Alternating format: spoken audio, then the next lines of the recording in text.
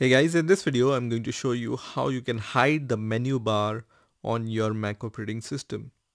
So as you can see by default your menu bar is always visible but for some reason let's say you want to hide this menu bar by default. So how you can do it let's see.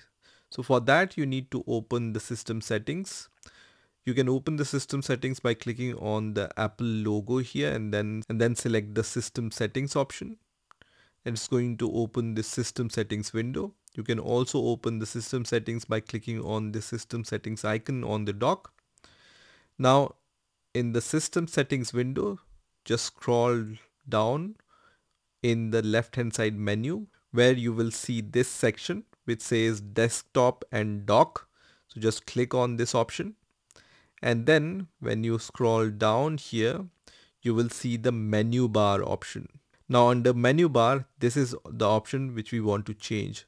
So automatically hide and show the menu bar. By default it's set to in full screen only. That means when you open an application for example I open this uh, Safari browser and when I maximize it so I make it in the full screen then only the menu bar will be hidden right? So you can see when I uh, use an application in full screen then the menu bar is uh, hidden.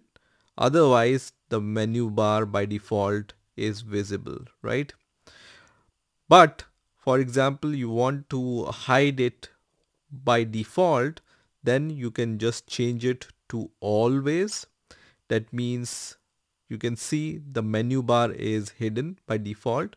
And when you hover your mouse on top of your screen this menu bar appears. And then you can use this menu bar normally. Once your mouse hover goes out of the menu bar it's going to disappear again right? So you can use it whenever it's needed and then once you hover your mouse outside the menu bar then it di disappears so this is how you can hide your menu bar automatically from your Mac operating system. I hope you've enjoyed this video and I will see you in the next video.